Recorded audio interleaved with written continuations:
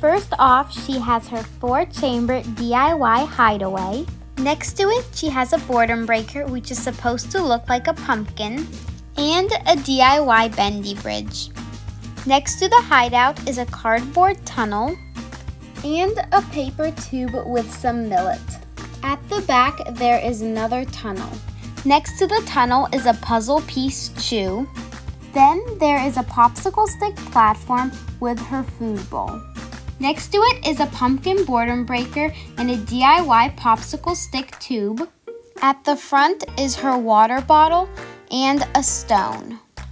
Towards the back, she has her 11 inch Wodent wheel. In front of that, she has another DIY popsicle stick tube. And then the last pumpkin boredom breaker.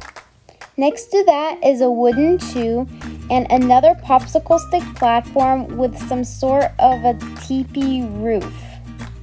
And then there is her sand bath.